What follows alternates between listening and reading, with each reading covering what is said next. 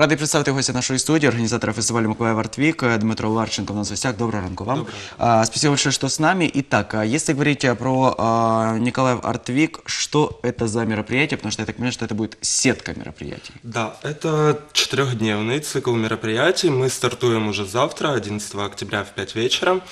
Э, Это цикл мероприятий, который включает фотовыставки, кинопоказы, и в этом году, так как лайтовая программа, будет всего одна лекция на тему путешествия и вдохновления. Если говорим о путешествиях и вдохновлениях, то будет, потому что как-то выбивается у нас Артвик. Да, мы решили так немного разбавить программу фотовыставок и кинопоказов. Лекцию будет читать Ира Журавель, которая расскажет о том, как э, путешествовать по Европе, по Азии и отдохнуть, вдохновиться, мотивироваться. Наши телезрители, те, которые постоянно знают ее очень хорошо, она наш эксперт уже утренний, поэтому если пропустили какие-то с ней выпуски, можете зайти на наш канал в Ютубе посмотреть. А, Если возвращаемся все-таки к а, другим мероприятиям, одно из них это презентация фильма «Альманах», документальный фильм «Контуры». А, Что это за фильм и почему вот именно в рамках этого фестиваля, скажем так, а, этого, этой недели будет презентован именно он? Фильм просто очень хорошо вписывается в концепцию нашего фестиваля. То, что мы пытались заложить, это современная украинская культура и ее популяризация по всей Украине. Фильм рассказывает о трех абсолютно разных художниках из разных городов Украины. Один художник, он сам харьковчанин, но постоянно живет в Мариуполе и делает там свои работы. И он больше позиционирует именно стрит-арт, это часть мура- э, мурализма. Он рисует город для того, чтобы показать, разрисовывает город, для того, чтобы показать жителям, что надо радоваться каждому моменту. Все его работы мотивируют жителей на то, что необходимо действовать, а не сидеть сложив руки и просто ожидать чего-то. Мне понравился комментарий а, автора, скажем так, этих муралов в Мариуполе, потому что он сказал, как а, чаще всего, а, когда приезжает Мариуполь, весьма такой черно-белый а, город, весьма серый, и все идут а, в центр для того, чтобы найти что-то яркое. А теперь, говорит, а, мои муралы будут все-таки чем-то ярким, что может привлечь. Да, и они даже на окраинах у него расположены. По сути, это один из тех вариантов, когда вот современное искусство выносит что-то хорошее, не портит, как э, чаще всего там, да, граффити э, ассоциирует э, либо стрит-арт с чем-то тем, что портит фасады и так далее. Здесь наоборот украшение идет фасадов. Ну, вот как раз тема граффити, это вот третий фильм в «Альманахе», это фильм «Сув», который рассказывает про такую андеграунд комьюнити в Киеве, которая отстаивает свои права на существование, которая создают э, свои небольшие вечеринки, фестивали с граффити, с электронной музыкой, где-то на окраинах Подола, что очень удивительно, это самый центр города, но они забредают так далеко, чтобы не мешать людям, но чувствовать себя очень свободно, потому что многие считают, что граффити это очень плохо, хотя это ну, одно из самых первых течений в стрит-арте. Поэтому такая отдушина, скажем так, для них, отдушина будет и для николаевцев возможность посмотреть этот фильм, но перед этим предлагаю сейчас э, трейлер, потом поговорим еще о втором фильме, который вошел в этот альманах. Вы типа здесь работаете, да, или что?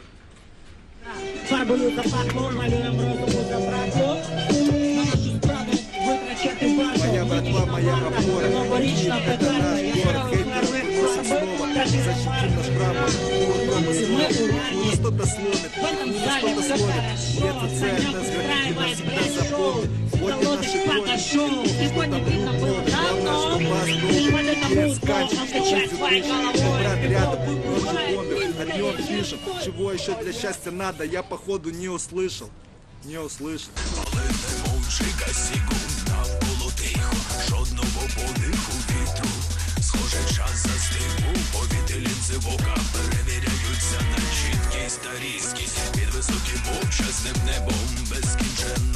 видно было давно. Перевод это музыку, он скачает своей головой. Брат рядом, Любовь ночью бывает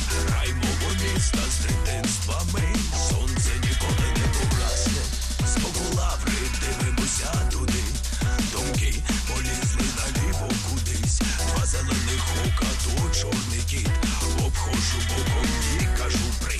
легкой. Чего еще для счастья надо, я походу не услышал. Не услышал. Палає сонце.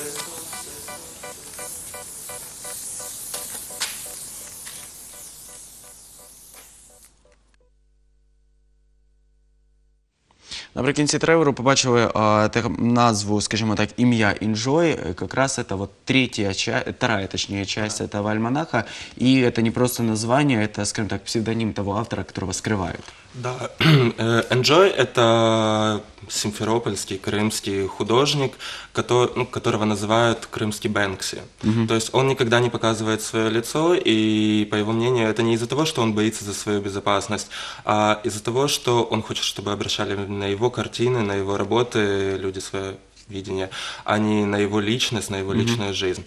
И Проблема еще второго фильма «Enjoy» то, что там показывается абсолютный контраст. И выбор крымских художников на данный момент. «Enjoy», он работает в стиле протеста.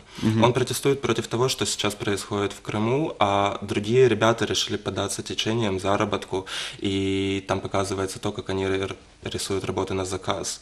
А если мы говорим о а, вот этих, а, скажем так, об этом альманахе, сколько по времени идет вообще этот фильм, а, и, соответственно, когда, во сколько и куда стоит приходить? Каждый фильм идет э, по 20 минут, то есть общая длительность кинопоказа будет всего час, час, час 10.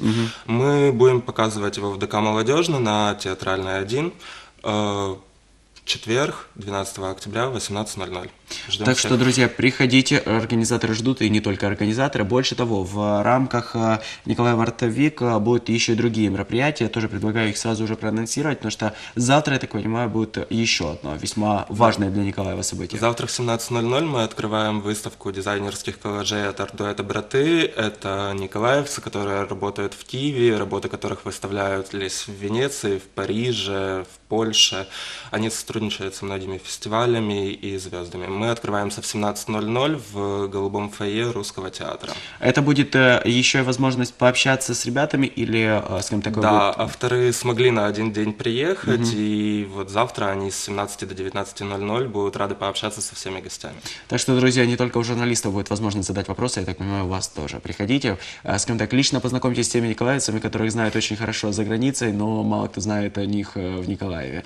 А, Кроме того, я так понимаю, завтра, послезавтра и э, в пятницу В пятницу у нас тоже фотовыставка, мы открываем ее в 19.00. Это выставка Сергея Мельниченко, известного тоже николаевского фотографа, который стал первым победителем из Украины фотоконкурса «Лейка».